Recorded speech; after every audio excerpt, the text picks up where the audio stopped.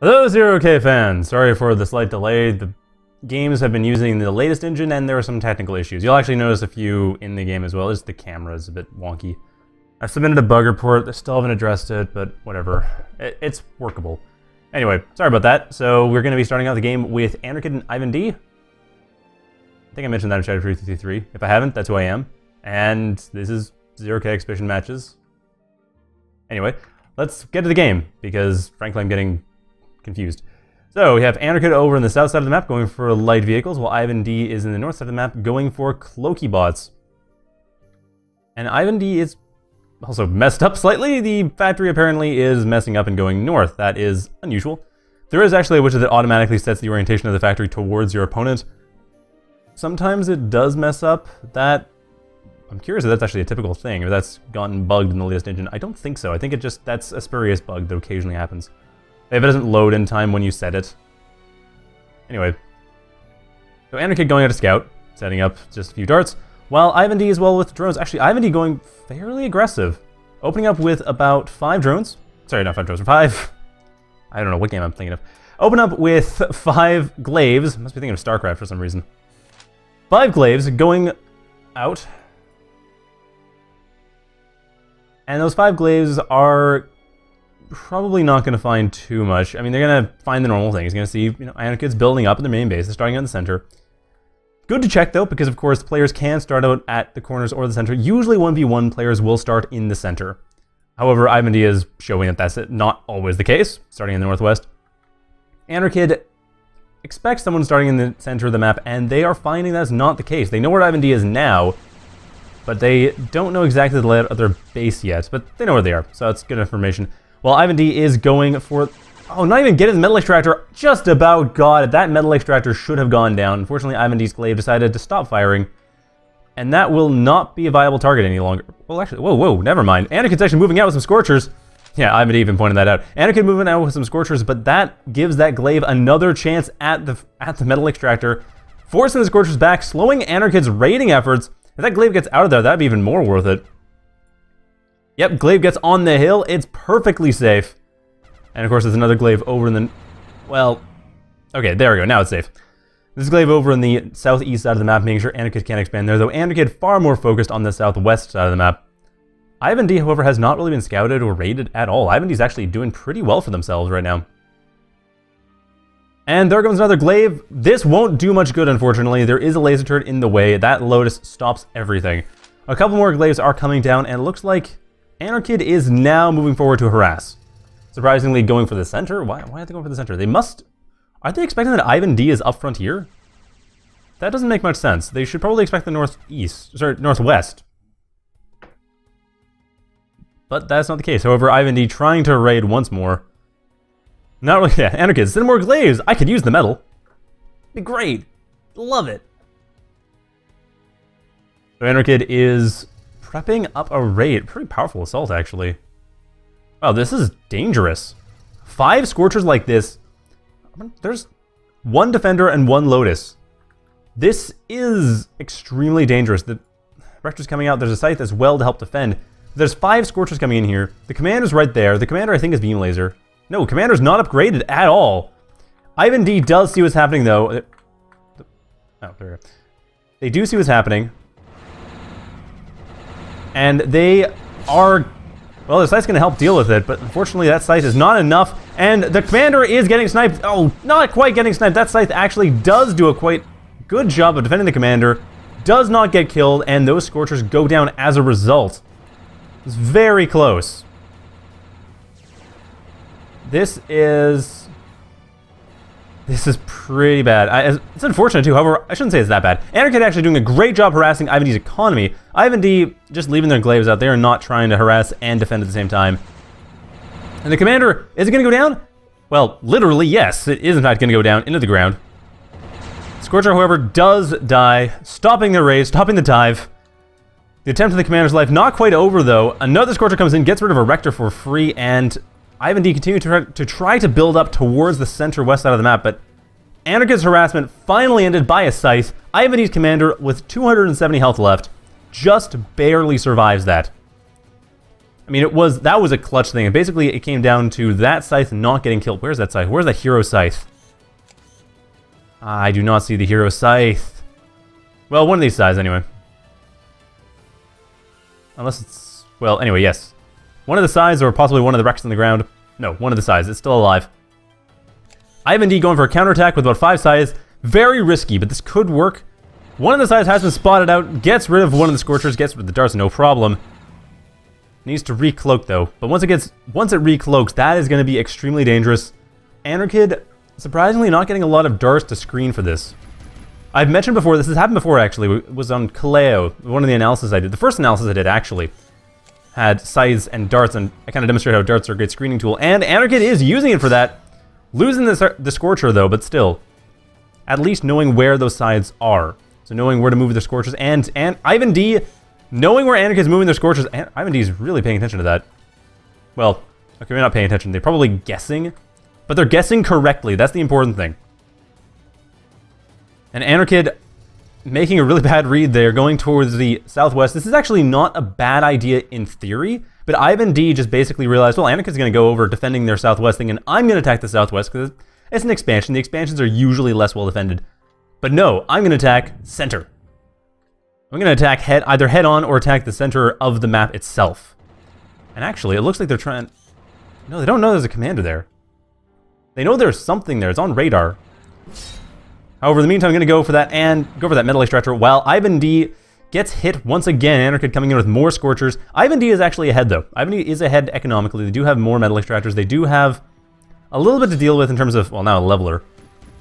And the scythes are going for a comm snipe. But this is, well, actually, you know, will work. Enough scythes, one exercise comes in there, that should finish it off. Get rid of the Lotus, though. It Needs to get rid of that Lotus. Okay, the Lotus is down, and those scythes, oh, they should have retreated. Retreat, come back in. Retreat, cloak, come back. That would have killed it. That's the thing with scythes, you gotta be really careful how to use them.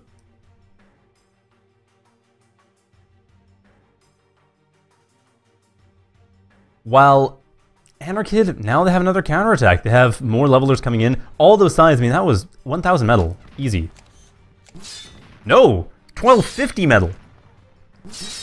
Actually, even more than that, because it was like 6 scythes in total. So yeah, we're looking at about 2,000 metal worth of scythes. For reference, actually, although admittedly that worked out fairly well in practice. I don't think it quite made cost. It did slow Anarchid stuff down, but yeah, that's Bearing in mind that Scorchers are 130. Scorchers are half the cost. That would have been like 10 Scorchers.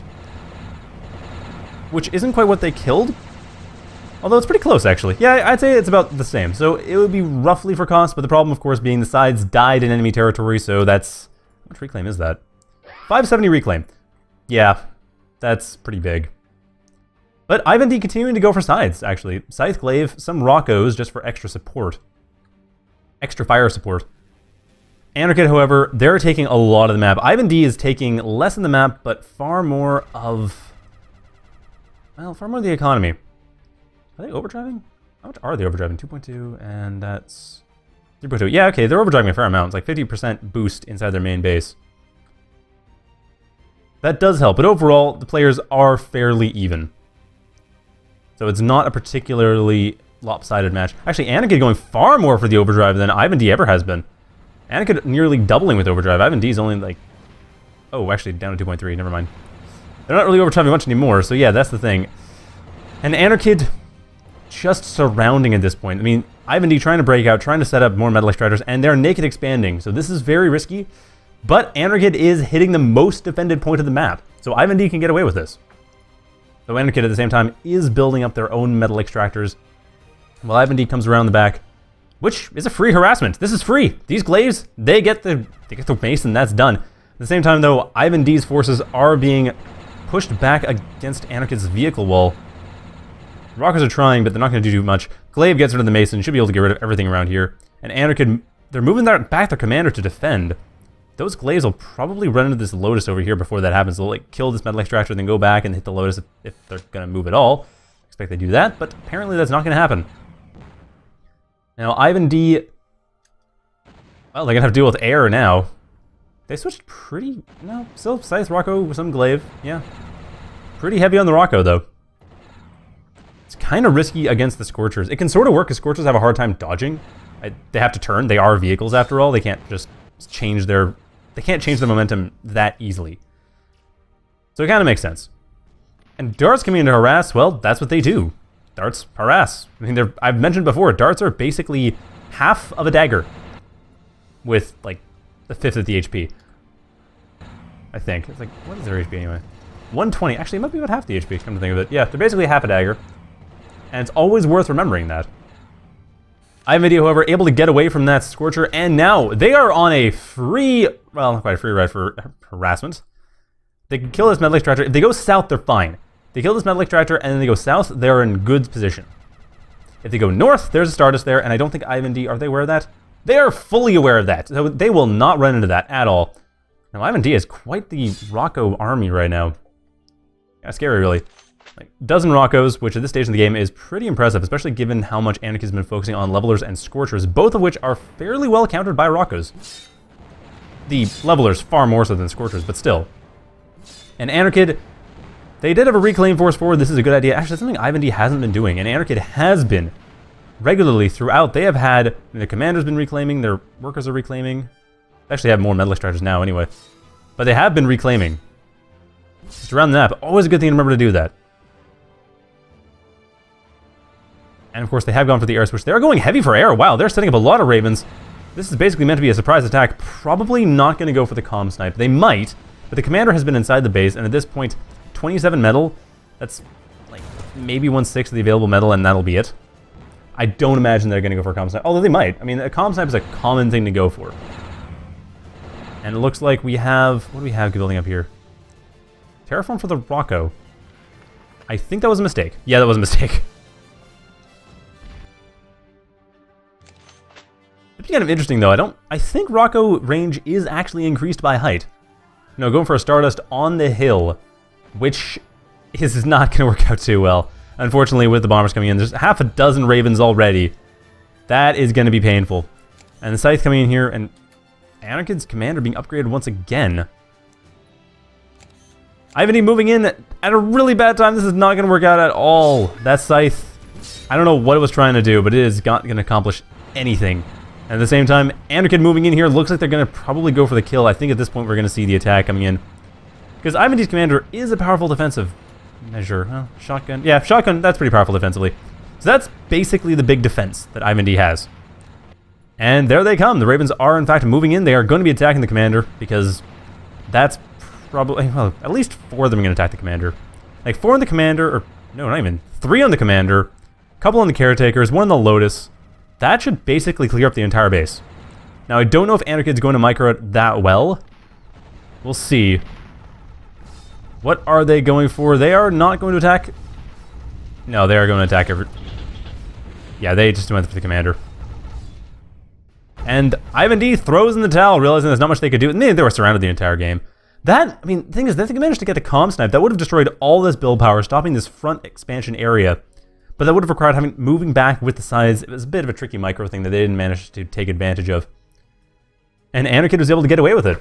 So with that, Anarchid takes that game. So I hope you enjoyed that. We got another one for you in just a moment. It and Kane, and it will be on Baron. Stay tuned for that. It'll be up in just a moment.